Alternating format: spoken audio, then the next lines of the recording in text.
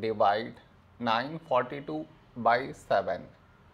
To do this division, we should frame it in this way. 942 here, 7 here. This is your step 1. Next. Here we have 9, here 7. A number close to 9 in 7 table is 7 ones 7. Now we should subtract, we get 2. After this, bring down the beside number, so 4 down, so 24.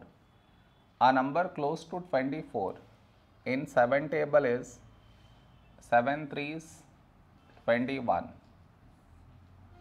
Now we subtract, we get 3.